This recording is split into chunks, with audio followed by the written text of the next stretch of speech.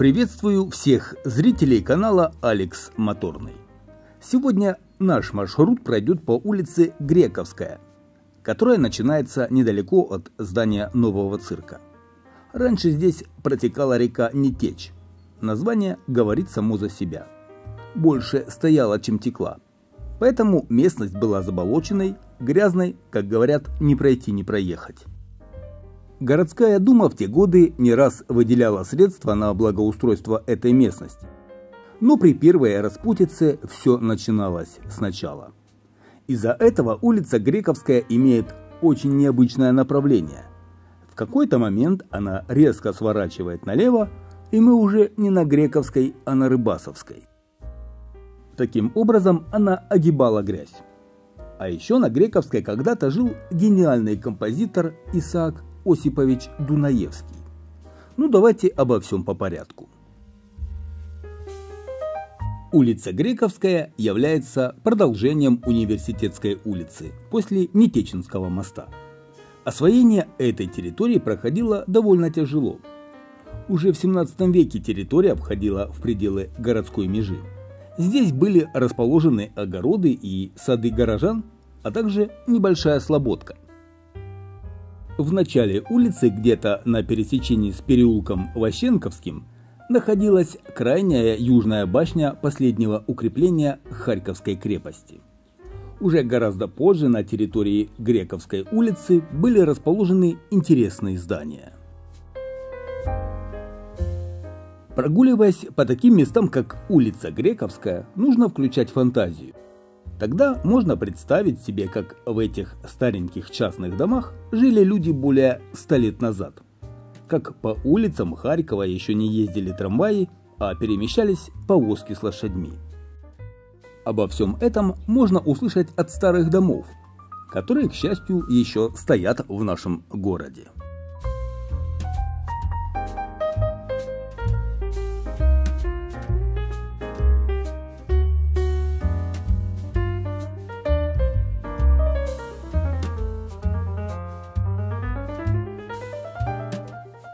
В доме под номером 8 в 1914 году располагалось частное первое классное училище Елизаветы Федоровны Семейкиной.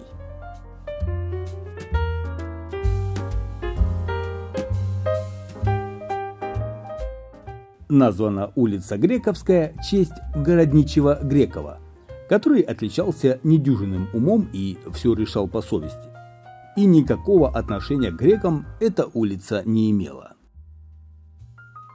Один из немногих поэтов, которого я люблю и уважаю, уроженец Харькова Михаил Кульчицкий. Его семья после 1917 года жила на улице Грековской 9, в доме, который сейчас перед вами. Ранее здание выглядело совсем не лучшим образом но теперь оно реконструировано и совершенно другого вида.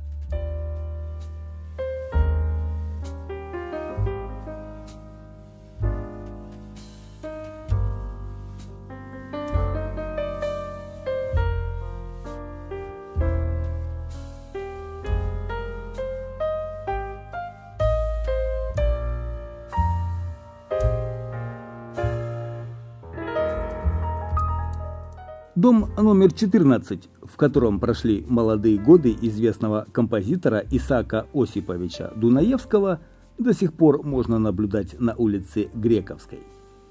Дунаевский прожил в Харькове 14 лет.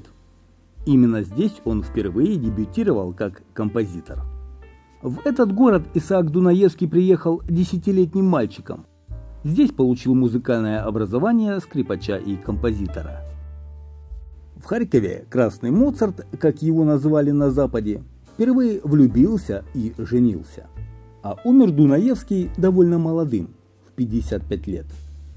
Поговаривали, что музыкант застрелился, но музыковеды и исследователи его биографии не верят в эту версию.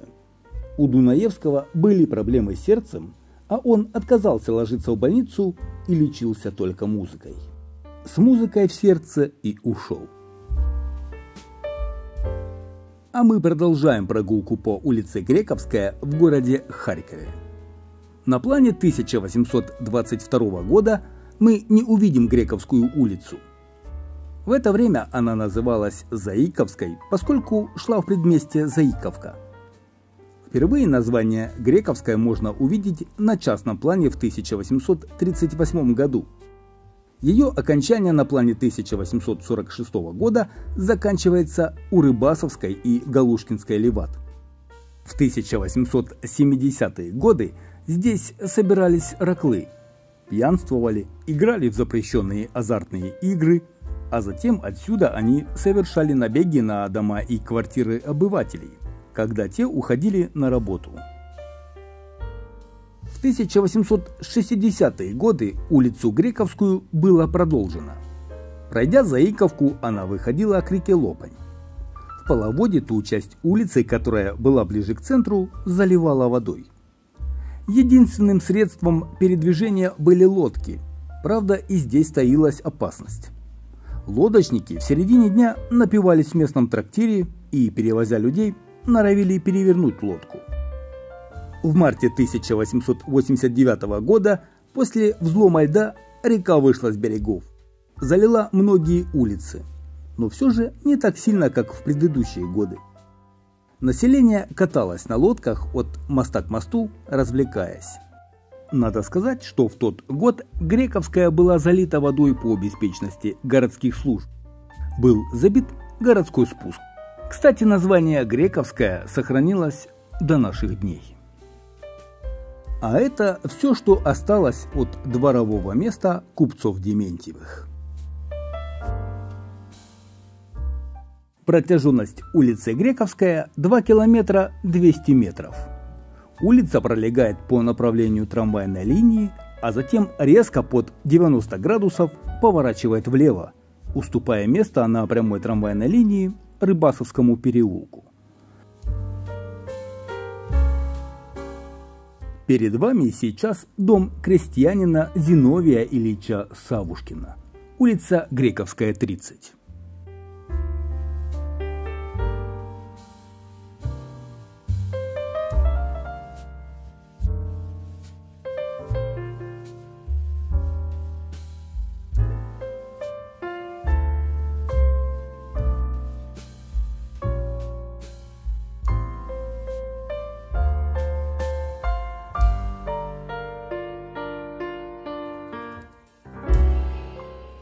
В книге Владимира Миславского «Харьков. Кинематографический» сообщается о том, что в период с 1907 года по 1937 на Грековской располагались два кинотеатра – на Грековской 34 и на Грековской 39.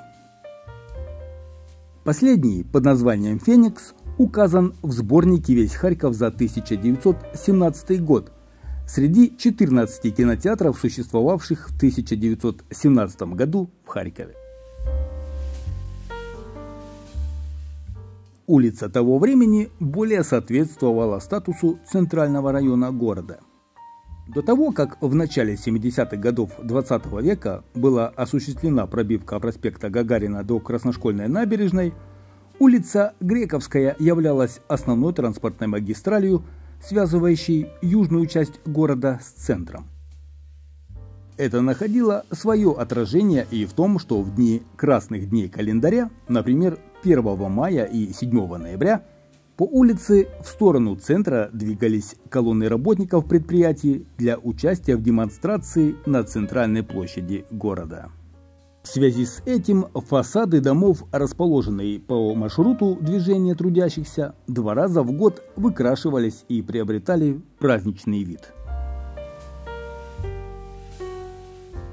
Трамвайное движение по улице Грековской открылось 17 июля 1911 года, через пять лет после того, как в Харькове торжественно прошел пуск первого электрического трамвая. С тех пор на протяжении прошедших 100 лет направление проложенной трамвайной линии на улице оставалось неизменным. И очень редко менялись номера маршрутов движения. В конце 2009 года прекратил свое существование маршрут номер 2, который проходил по Грековской с 1914 года. практически начало открытия движения трамваев по этой улице. Через некоторое время был изменен трамвайный маршрут номер 7, который теперь не проходит по Грековской, но тем не менее трамвайное движение на улице продолжается. История улицы Грековская как путешествие в прошлое. Здесь всего столько интересного, например, это дом мещан Васильевых. А посмотрите вот на этот дом, принадлежавший мещанке Варваре Макаровне Ивановой.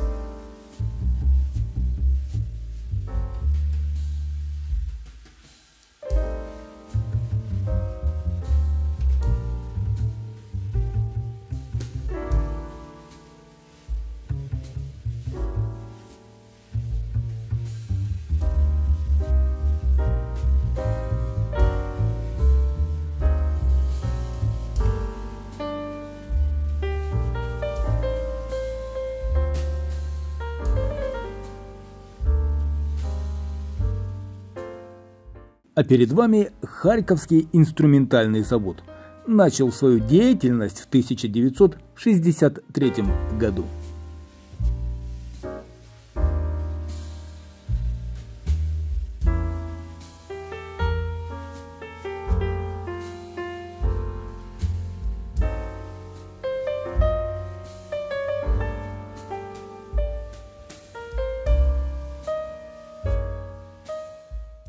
Дорогие друзья, сегодня мы совершили видеопрогулку по улице Грековская в городе Харьков. Если вам есть что рассказать или добавить про данную улицу, милости прошу в комментарии под видео.